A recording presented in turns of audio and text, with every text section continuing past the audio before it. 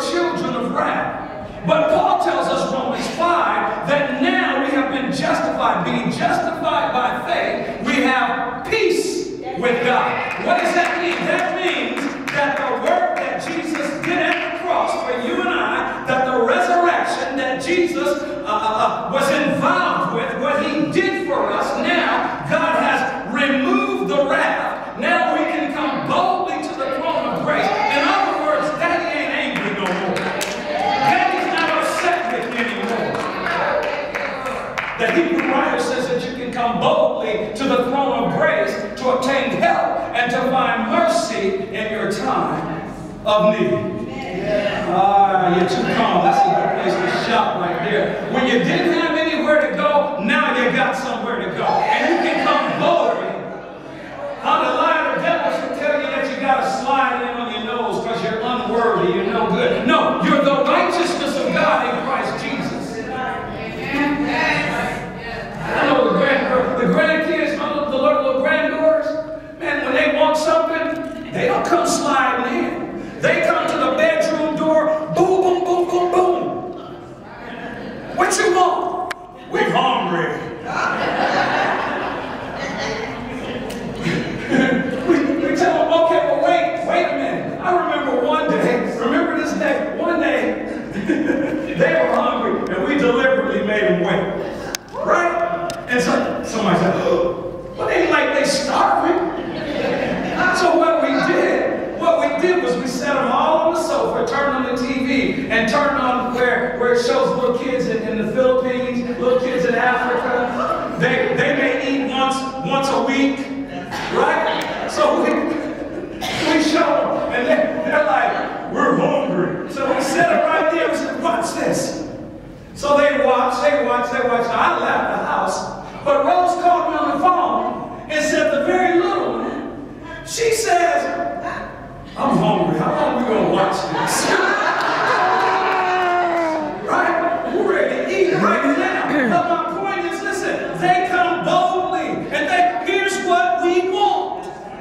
And do you know that's what the Father is saying to you and I? Come boldly. Come boldly to the throne of grace. See, the problem is you go to the throne and then you speak your mind and then that's it. You need to go boldly and remind him. I remember when I was a kid, remember I skated in Detroit. I, I wanted these, remember these skates I wanted so bad, CCMs? One of these skates. And my mom, she bought, she bought the skates. But before I get the skates, I was like, Daddy, Daddy, can I get the skates? Then I come back the next day, Dad, can I get them skates? Then I come back the next day, Dad, got them skates. Now just worried. Boy. Get would you stop asking me about this skate? Anybody know any kids like that? You used to be that way.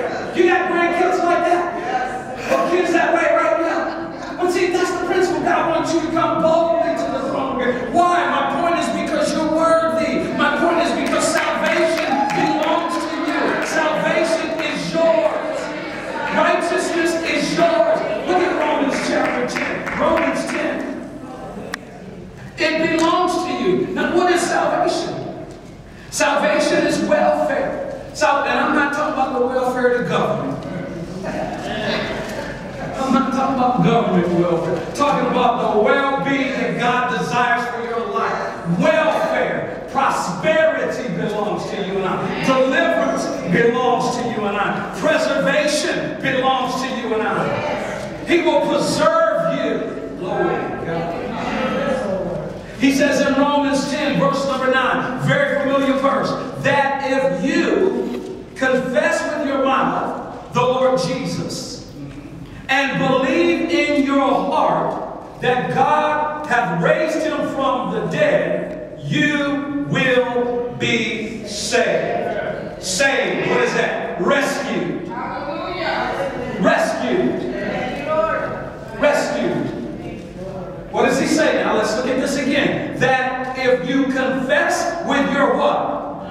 Come on, say it like you mean it. With what? Mouth. With your mouth.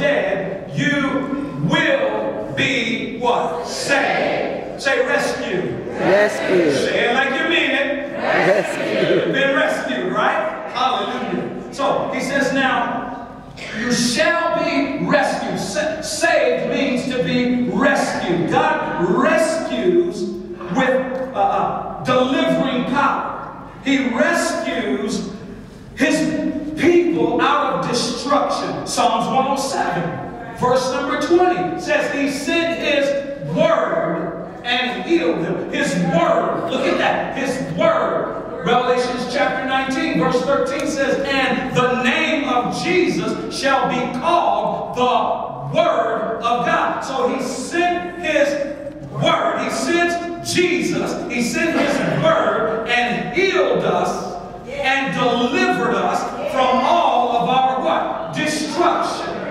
He rescued us. That's what salvation will do. It will rescue you. And not only will it rescue you, but then it will preserve you. Every time I say that word, Troy, I think of Big Mama's preserves.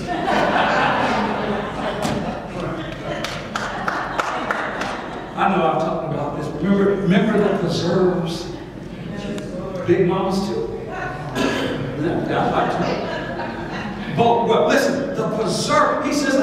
I'll you. That means he keeps all the goodness, all the good things is bottled up in you. Why? Because of him. All the good things come out. That's why it's not natural for a believer to be cranky. That's why it's not natural for a believer to be mean. To That's be right. evil, to That's be right. cantankerous. Hmm. I know we have our days where we get upset, but you know, in those days when you get upset, the Spirit of the Lord is still working on the inside of you. That's the right. glory can still shine out of you. Right? See, so He'll preserve you for the appointed time. Now listen. He says in verse number 10 For with the heart one believes unto righteousness. So where does righteousness, where, where do we believe? With the heart. He says, For with the heart one believes unto righteousness. And with the mouth, what? Is confession made unto salvation. So you believe with what? The heart. And with the mouth, you do what? Confess. Now, underline the word heart. Circle that. That's where we get the word cardiac from.